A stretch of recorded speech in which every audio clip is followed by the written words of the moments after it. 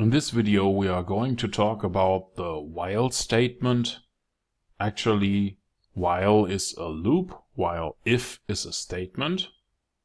Both are very similar, but we want to find out what the differences are and how to create an expert advisor that is going to use the while or the if statement to open a trade.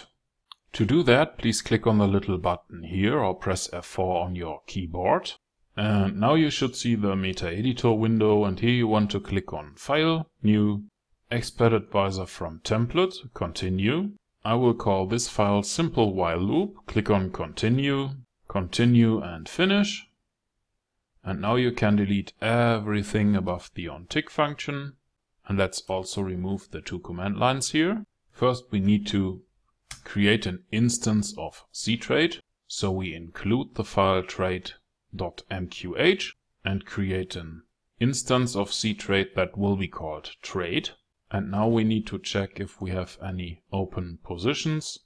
That's done by using positions total. And we want to know if positions total is equal to zero. And in that case, we want to open a buy order.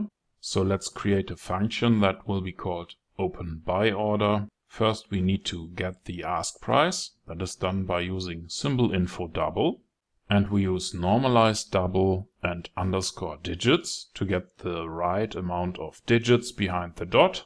Because as you can see here, we have currency pairs with five digits behind the dot. And this one only has three digits behind the dot and underscore digits stores the number of digits after the decimal point for the current symbol on the chart and the ask price for that symbol and the result will be stored in the variable called ask. Now that we know the ask price, we want to buy 10 micro lot by using trade.buy. If you want to understand all the parameters here, just take a look at the video called Simple Buy Trade. In our case, it's about the while statement here. So now we close the second function here and click on the compile button or press F7. That went very well. So we can now click on the little button here or press F4 to go back to MetaTrader. And in MetaTrader, we click on View, Strategy Tester or press Ctrl and R. Please select the file simplewhileloop.ex5 that we have just created. I will disable the visualization here pick the whole year 2017 and start a test.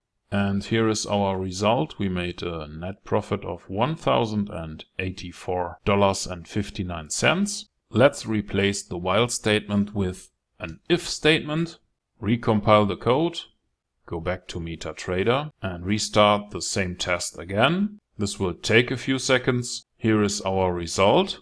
Once again, we made a profit, $1,084.59. But now we are going to change the statement here. We want to find out if we have less than 10 open positions. Compile the code once again, restart the test. This time we made a net profit of $10,872 with the if statement.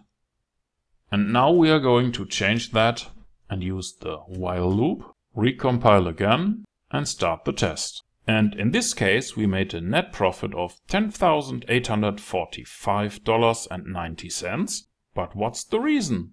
We only changed the amount of positions to check. To find the answer, please mark the visualization button here and start a new test. And you will see that we only see one line here because the while statement opened all the positions here at exactly the same time. The reason is that within the onTick function, the while statement will run as long as this expression here is true, while the if statement behaves differently. So let's do a quick compilation here, start the test for the last time. And now you will see that only one position is opened after the other. So we have opened buy positions at different price levels here. And over time, this makes a big difference. Okay, in this video you have learned how to open positions by using the while statement and you have coded it yourself with a few lines of MQL5 code.